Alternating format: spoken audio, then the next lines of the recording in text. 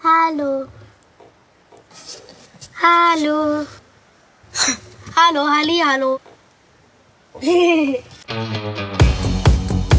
glaube, jetzt geht's los. Yeah! yeah! Oh. Was denn?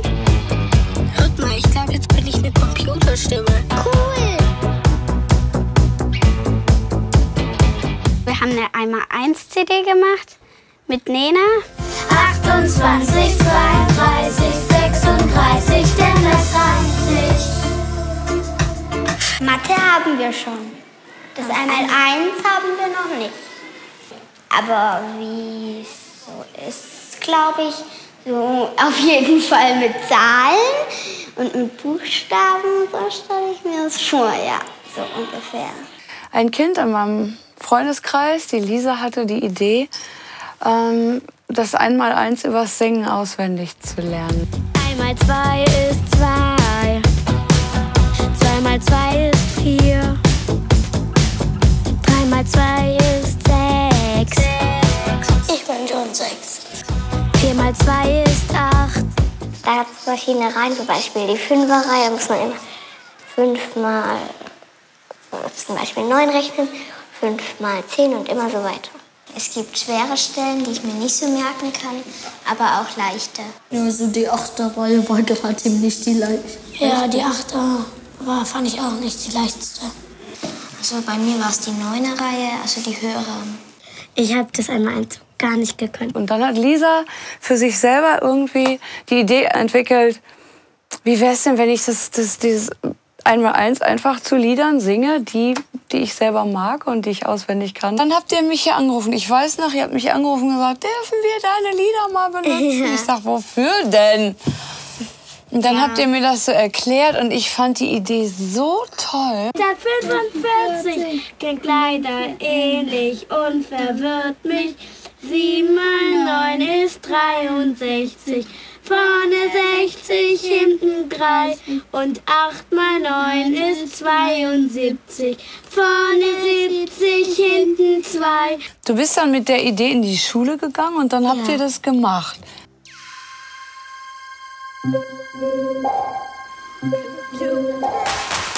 Und deine Lehrer fanden das auch cool, oder? Ja. Für viele ging das auch dann so, dass sie die- Lieder dann im Kopf hatten.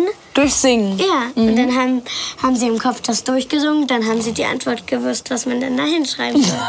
Herrlich. Denn ich hab nur von dir geträumt, ich hab die auch nur kurz gesehen. Ich kann schon zwölf und dann singen. eine Musik von einem Lied, das andere erfunden haben. Nur mit den Instrumenten und dann den Text haben sie selber dazu gesungen, eben nur mit den Zahlen. Ja, manchmal habe ich auch mitgesungen und dann kann man sich, wenn man den Text weiß, kann man sich ihn halt immer merken und dann kann man die Reihe einfach mitsingen. Da, da sind ja auch witzige Sprüche dabei. Wenn man jetzt zum Beispiel das Lied auswendig kann, dann kann man ja auch gleichzeitig die Reihe auswendig. Ich höre sie auch manchmal nur zum Spaß haben an.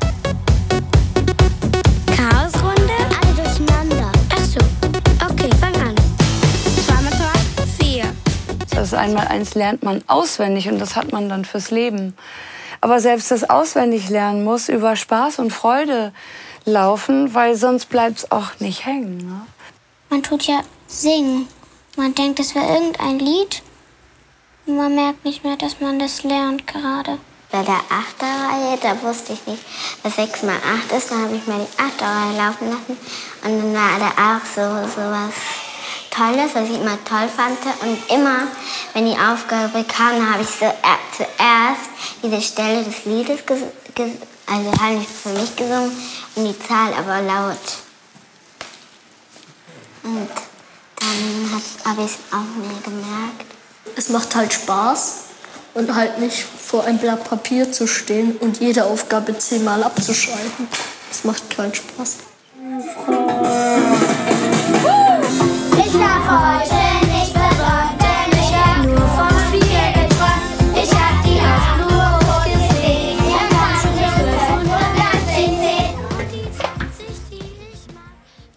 Das erste Mal, da war ich ziemlich, ja, ziemlich aufgeregt. Da ist eine Kamera mit Styropor und an den Wänden und dann hat halt ein Mikrofon und da musst du reinsingen und dann noch ein Spiegel. Eigentlich gar nicht schlimm. Vorne siehst du dann einen, der kann dir auch noch was zuflüstern oder so. Ich hab die auch nur kurz gesehen. Da gab's schon zwölf und dann. Man muss ziemlich oft wiederholen. Viermal sind wir ins Studio gekommen und haben dann halt immer kräftig am Tag sehr viel gemacht. Du warst ja mit hier im Studio, hast das alles mit eingesungen und eingesprochen. Wie war das denn so für dich? Toll. Ja? Du lernst ja in der Schule das Einmaleins noch gar nicht. Ja. Oder? Ja, Leni hat auch dann das Einmal-Eins auch schon einmal auswendig gekonnt.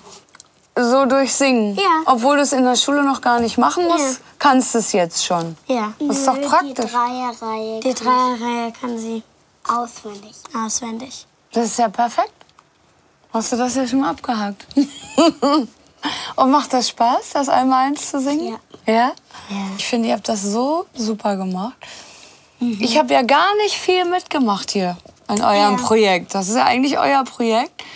Ich habe mal ein bisschen so Backing Vocals gesungen. Ne? Ja. Ich finde es so toll, wie ihr das gemacht habt. Wir waren noch beim Fotoshooting, Trampolinspringen und verschiedene Posen machen. Hast du mal eine Neun für mich? Dann singe ich ein Lied für dich von einmal neun und zweimal drei. Dreimal neun, das. Super,